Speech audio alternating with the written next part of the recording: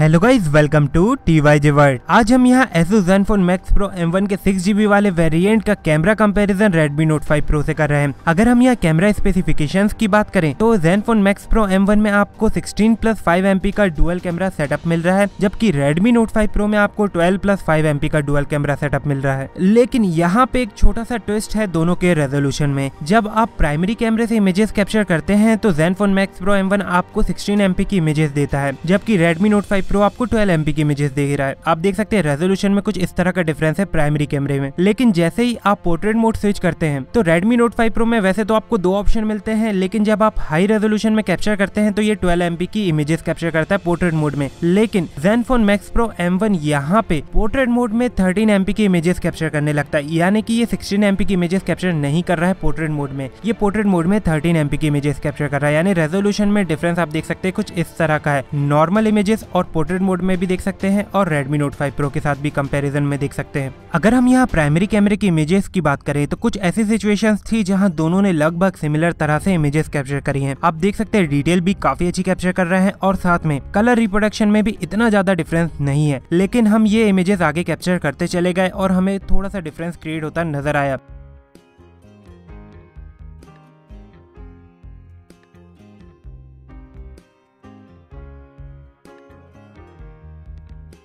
और ये था कलर रिप्रोडक्शन का। आप देख सकते हैं Redmi Note 5 Pro थोड़े सेचुरेशन लेवल बढ़ा के इमेजेस कैप्चर कर रहा है, जब हम इसे Zenfone Max Pro M1 के 6GB वाले वेरिएंट से कंपेयर कर रहे हैं। या ये बोल सकते हैं 6GB वाला वेरिएंट थोड़ी सी फेड इमेज कैप्चर कर रहा है। हमने यहाँ पे कंटिन्यू इमेजेस कैप्चर की, उसके बाद अगर हम यहाँ आपको मैक्रो शॉर्ट्स दिखाएँ तो आप देख सकते हैं मैक्रो शॉर्ट्स में भी हमें कलर रिप्रोडक्शन का ही डिफरेंस देखने को मिला। डिटेल दोनों ही काफ़ी अच्छी कैप्चर कर रहे थे। अगर मैं यहाँ डायनेमिक रेंज बैलेंस करने की बात करूँ, यानी कलर्स के बीच में एग्जैक्ट डिफरेंस कौन क्रिएट कर रहा है तो वो Redmi Note 5 Pro है। आप देख सकते हैं कलर्स के बीच में एग्जैक्ट डिफरेंस क्रिएट कर रहा है, जबकि Zenfone Max Pro M1 यहाँ पे कलर्स को थोड़ा सा फेड करता हुआ नज़र आ रहा है। इसके अलावा आप देख सकते हैं डिटेल दोनों ही काफ़ी अच्छी कैप्चर कर रहे हैं। हमने काफ़ी शॉट लिए, काफ़ी अलग अलग कलर्स के शॉट लिए और हमें यही डिफरेंस देखने को मिला। यानी कि ज़्यादा पंची कलर ज़्यादा शार्प इमेज हमें Redmi Note 5 Pro की दिख रही थी, जबकि Zenfone Max Pro M1 की इमेज में आप देख सकते हैं थोड़े से फेड कलर हमें नज़र आ रहे थे। तो कलर रिप्रोडक्शन का कुछ इसी तरह से डिफरेंस हमें देखने को मिला। कलर रिप्रोडक्शन के डिफरेंस को और एक्यूरेटली जानने के लिए हमने एक डिटेल्ड इमेज कैप्चर करी, जिसमें कलर्स के बीच में काफ़ी डिफरेंस था, उन्हें एग्जैक्ट रिप्रोड्यूस करना था। तो आप इन दोनों के बीच में डिफरेंस देख सकते हैं। Redmi Note 5 Pro के मुकाबले Zenfone Max Pro M1 थोड़े से कलर्स को फेड करता हुआ नज़र आ रहा है, जबकि Redmi Note 5 Pro यहाँ ज़्यादा पंची कलर शो कर रहा है। अब ये इमेजेस पूरी तरह आपके प्रेफरेंस पे डिपेंड करते हैं कि आपको किसकी इमेजेस ज़्यादा अच्छी लग रही हैं। तो कमेंट करके ज़रूर बताइए कि आप किसकी इमेजेस प्रेफर करना यहाँ पसंद करेंगे।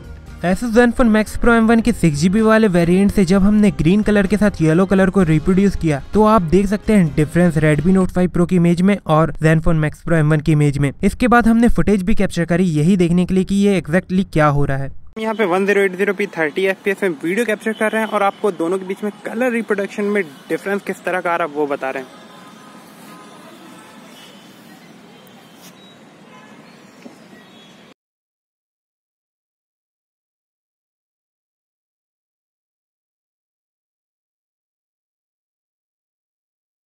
अगर हम यहाँ पोर्ट्रेट मोड की बात करें तो Redmi Note 5 Pro में आपको पोर्ट्रेट मोड में दो ऑप्शन मिल रहे हैं। या तो आप नॉर्मल पोजीशन से हाई रेजोल्यूशन यानी 12 MP की इमेजेस कैप्चर कर सकते हैं, या फिर आप 1.5x जूम के साथ लो रेजोल्यूशन यानी 5.6 MP की इमेजेस कैप्चर कर सकते हैं पोर्ट्रेट मोड में। जबकि जेन Zenfone Max Pro M1 में आपको यहाँ पे एपेचर वेरी करने का ऑप्शन मिल रहा है। यानी आप नॉर्मल पोजिशन से पोर्ट्रेट मोड तो कैप्चर कर सकते हैं, यहाँ पे आपको एपेचर वेरी करने का ऑप्शन मिल रहा है। यानी कि आप ये डिसाइड कर सकते हैं कि आपको बैकग्राउंड कितना ब्लर रखना है। तो कुछ ऐसी सिचुएशंस हमें मिली पोर्ट्रेट मोड में जहाँ दोनों ने लगभग सिमिलर तरह से इमेजेस कैप्चर करी। यहाँ पे हम Redmi Note 5 Pro के नॉर्मल मोड यानी कि फुल रेजोल्यूशन वाले पोर्ट्रेट मोड का यूज़ करके इमेजेस कैप्चर कर रहे हैं। तो आप देख सकते हैं कलर रिप्रोडक्शन में ज़्यादा डिफरेंस हमें देखने को नहीं मिला कुछ सिचुएशन में। लेकिन जैसे जैसे हम आगे इमेजेस कैप्चर करते चले गए, हमें दोनों के बीच में डिफरेंस क्रिएट होता नज़र आया। यानी आप देख सकते हैं रेडमी नोट फाइव प्रो के नॉर्मल पोजिशन से भी ये कुछ सेचुरेशन लेवल बढ़ा के इमेजेस कैप्चर कर रहा है, जब हम इसे Zenfone Max Pro M1 के 6GB वाले वेरियंट से कंपेयर कर रहे हैं। अगर मैं यहाँ क्लोज टू नेचुरल की बात करूँ तो close to natural Redmi note five pro colour show कर रहा है। यानी कि जो जेनफोन मैक्स प्रो एम है, वो कलर्स को कुछ फेड करता हुआ नज़र आ रहा है, जैसा उसने मैक्रो शॉट में किया था। और साथ में आपको ब्लर अमाउंट में भी डिफरेंस देखने को मिलेगा, क्योंकि जेनफोन मैक्स प्रो एम में आपको इमेजेस कैप्चर करते टाइम एपेचर वेरी करने का ऑप्शन मिल रहा है। यानी कि आप ये डिसाइड कर सकते हैं कि आपको ब्लर लेवल कितना रखना है बैकग्राउंड का। इसके बाद हम आगे इमेजेस कैप्चर करते चले गए तो आप देख सकते हैं रेडमी नोट फाइव प्रो की image comparison wise Zenfone max pro M के थोड़े वार्म टोन में लग रही है। यानी जो स्किन का कलर है, आप देख सकते हैं, थोड़ा सा वार्म लग रहा है रेडमी नोट फाइव प्रो में, जबकि जेनफोन मैक्स प्रो एम में ये कुछ फेड होता नज़र आ रहा है। तो यहाँ पे आपको कमेंट करके ये बताना है कि आपको किसकी इमेजेस ज़्यादा अच्छी लग रही है। यानी आप किसकी इमेजेस प्रेफर करना पसंद करेंगे।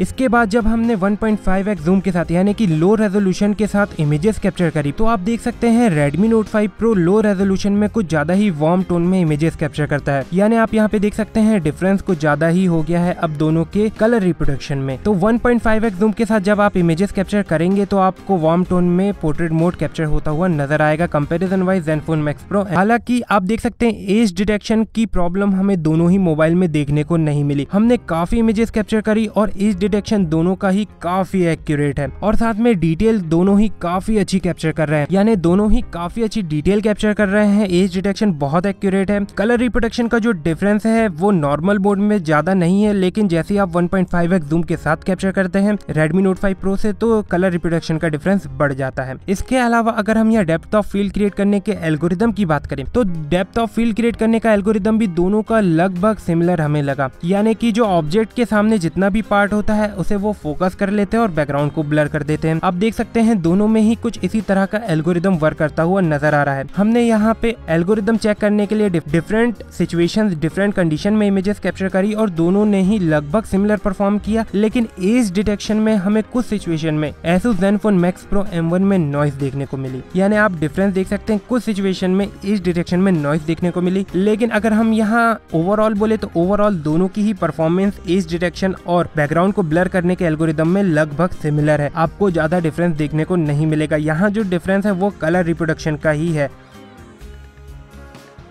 और जब हमने वाइड एपेचर में इमेजेस कैप्चर करी Zenfone Max Pro M1 के, यानी कि वैल्यू को फुल करके जब हमने इमेजेस कैप्चर करी तो आप बैकग्राउंड के ब्लर लेवल में डिफरेंस देख सकते हैं। ये काफ़ी ज़्यादा ब्लर करने लगा बैकग्राउंड को। लेकिन इस सिचुएशन में नॉइज़ भी आपको काफ़ी देखने को मिलेगी। यानी आप डिफरेंस देख सकते हैं, कुछ इस तरह का आ रहा है ब्लर लेवल में और एज डिटेक्शन में।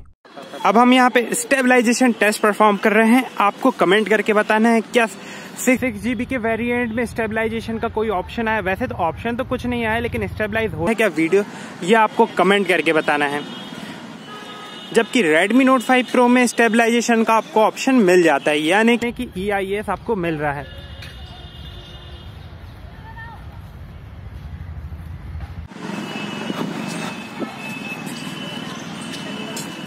अगर हम यहाँ फ्रंट कैमरे की बात करें तो दोनों में ही आपको सिंगल फ्रंट कैमरा मिल रहा है विद एलईडी फ्लैश लेकिन Redmi Note 5 Pro में आपको 20 एमपी का सिंगल कैमरा मिल रहा है, जबकि Zenfone Max Pro M1 के 6GB वाले वेरिएंट में आपको 16 एमपी का फ्रंट कैमरा मिल रहा है। अगर हम यहाँ रेजोल्यूशन के डिफरेंस की बात करें तो आप देख सकते हैं रेजोल्यूशन में कुछ इस तरह का डिफरेंस है। इसके अलावा, जब हमने इसके नॉर्मल मोड से इमेजेस कैप्चर करी तो दोनों ही काफ़ी अच्छी इमेजेस कैप्चर कर रहे थे। कुछ सिचुएशन में रेडमी नोट फाइव प्रो ज़्यादा सेचुरेशन लेवल रख के इमेजेस कैप्चर कर रहा था, इसलिए आप कलर रिप्रोडक्शन में डिफरेंस देख सकते हैं। और कुछ सिचुएशन में दोनों ही काफ़ी अच्छी इमेजेस कैप्चर कर रहे थे। डिटेल कैप्चर करने में दोनों को प्रॉब्लम नहीं जा रही थी, यानी कि डिटेल कैप्चर दोनों ही काफ़ी अच्छी कर रहे हैं। इसके बाद जब हमने पोर्ट्रेट मोड में इमेजेस कैप्चर करी तो पोर्ट्रेट मोड में दोनों ही परफेक्ट एज डिटेक्शन के साथ इमेजेस कैप्चर करते हुए नज़र आए। यहाँ जो डिफरेंस हमें नज़र आया, वो कलर रिप्रोडक्शन का ही था। कुछ सिचुएशन में Redmi note five pro white tone में इमेजेस कैप्चर कर रहा था, जबकि जेनफोन मैक्स प्रो एम ज़्यादा बैलेंस्ड इमेज कैप्चर करता हुआ नज़र आ रहा है। फ्रंट कैमरे की इमेजेस पूरी तरह आपके ऊपर डिपेंड करती हैं, इसलिए आप कमेंट करके ये बताइए कि आपके हिसाब से कौन ज़्यादा अच्छी इमेजेस कैप्चर कर रहा है।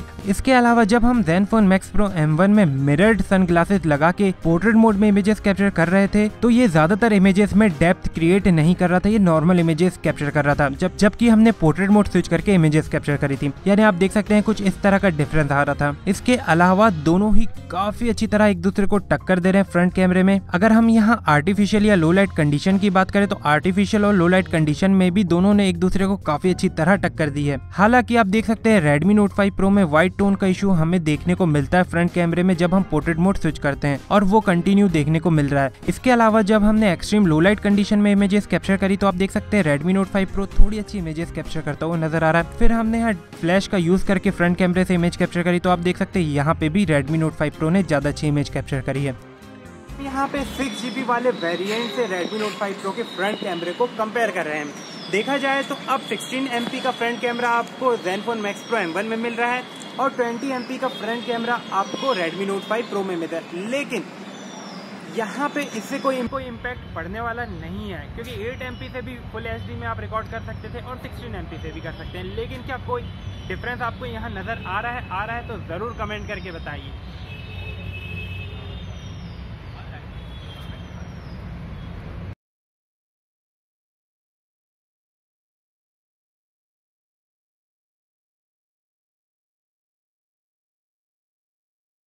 अब हम यहाँ फ्रंट कैमरे से वीडियो फुटेज कैप्चर कर रहे हैं और आपको डिफरेंट कंडीशन यानी डिफरेंट लाइटिंग कंडीशन में बताएँगे।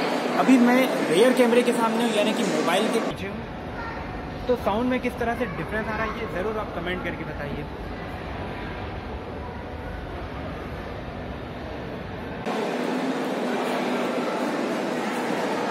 तो आप देख सकते हैं, यहाँ कंटिन्यू हम कंडीशन चेंज करते जा रहे हैं। यही दिखाने के लिए कौन ज़्यादा अच्छे से कंडीशन को मैनेज कर रहा है। देखा जाए तो स्क्रीन पर दोनों ही काफ़ी अच्छी फुटेज कैप्चर कर रहे हैं, लेकिन Redmi Note 5 Pro की स्क्रीन पर थोड़ी सी ब्राइटनेस लेवल मुझे ज़्यादा दिख रहा है। यानी कि थोड़े वाइट टोन में फुटेज कैप्चर करता हुआ नज़र आ रहा है। बाकी यहाँ कमेंट करके आपको बताना है कि फ्रंट कैमरे से कौन ज़्यादा अच्छी फुटेज कैप्चर कर रहा है। अब हम यहाँ पे 1080p 30fps में फ्रंट कैमरे से वीडियो फुटेज कैप्चर कर रहे हैं। अब हम यहाँ पे आपको कंडीशन चेंज करके दिखाएँगे। अगर मैं स्क्रीन की बात करूँ तो स्क्रीन पर ज़्यादा ब्राइट फुटेज मुझे Redmi Note 5 Pro में दिख रही है। ये मोबाइल स्क्रीन की बात अभी हम कर रहे हैं। तो यहाँ पे हम कंटिन्यू कंडीशन चेंज करके आपको बताते जाएँगे।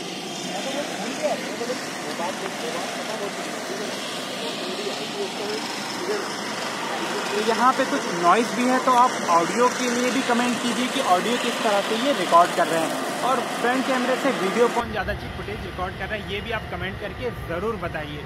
आप देख सकते हैं, हम, अब हम एक्सट्रीम लो लाइट सिचुएशन में आ चुके हैं। यानी कि यहाँ पे बहुत ज़्यादा डार्क हो चुका है। अगर हम यहाँ आर्टिफिशियल लाइटिंग कंडीशन की बात करें तो आर्टिफिशियल लाइटिंग कंडीशन में रिज़ल्ट थोड़ा मिक्स रहा। तो आप देख सकते हैं, कुछ ऐसी सिचुएशंस हमें मिली जहाँ Redmi Note 5 Pro ने ज़्यादा डिटेल कैप्चर करी और कुछ ऐसी सिचुएशंस मिली जहाँ Zenfone Max Pro M1 ने डिटेल ज़्यादा कैप्चर करी। ओवरऑल देखा जाए तो ओवरऑल दोनों ही आर्टिफिशियल लाइटिंग कंडीशन में काफ़ी अच्छा कलर रिप्रोड्यूस कर रहे हैं एक्यूरेट कलर रिप्रोड्यूस कर रहे हैं कंडीशन को जस्टिफाई कर रहे हैं और साथ में पोर्ट्रेट मोड में एज डिटेक्शन भी बहुत अच्छा है और इमेजेस में डिटेल भी काफ़ी कैप्चर कर रहे हैं। यानी ये बोल सकते हैं कि आर्टिफिशियल लाइटिंग कंडीशन में दोनों ने एक दूसरे को काफ़ी अच्छी तरह टक्कर दी है।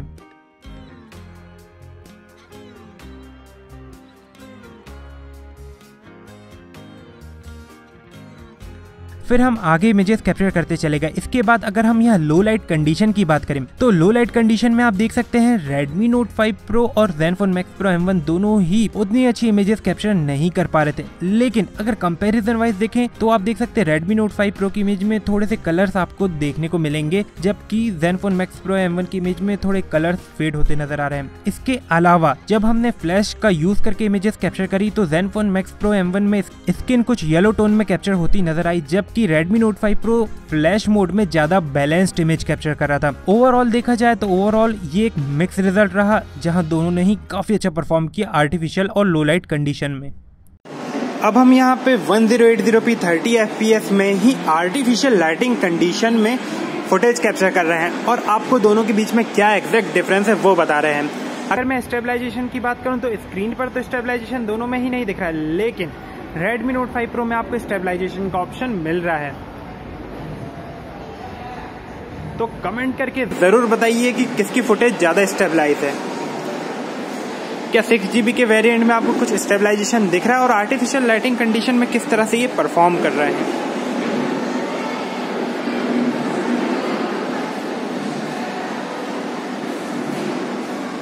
अब हम यहाँ एक्सट्रीम लो लाइट कंडीशन में वीडियो कैप्चर कर रहे हैं। तो आप देख सकते हैं, दोनों ही उतनी अच्छी फुटेज तो कैप्चर नहीं कर पा रहे हैं, यानी डिटेल उतनी अच्छी कैप्चर नहीं कर पा रहे लेकिन कमेंट करके आप ज़रूर बताइए कि देख सकते हैं, यहाँ पे हम कंडीशन चेंज करके आपको फुटेज शो कर रहे हैं। दोनों में ही हम 1080p 30 fps में ही फुटेज कैप्चर कर रहे हैं। तो अगर हम यहाँ डिफरेंस की बात करें तो यूज़र इंटरफेस में Redmi Note 5 Pro ज़्यादा आगे है। साथ में Redmi Note 5 Pro में आपको टाइम लैप्स और स्लो मोशन का ऑप्शन मिल रहा है, जबकि Zenfone Max Pro M1 में आपको 4K DCI तक का ऑप्शन मिल रहा है। यानी दोनों में अलग अलग बेनिफिट्स हैं, लेकिन स्टेबलाइजेशन आपको Zenfone Max Pro M1 के सिक्स जीबी वेरियंट में भी नहीं मिल रहा है। ओवरऑल आपको कमेंट करके ये बताना है की दोनों में से किसने ज़्यादा अच्छा परफॉर्म किया। अगर आपको ये वीडियो अच्छा लगा तो ज़रूर लाइक कीजिए शेयर कीजिए सब्सक्राइब कीजिए and thank you for watching T Y J world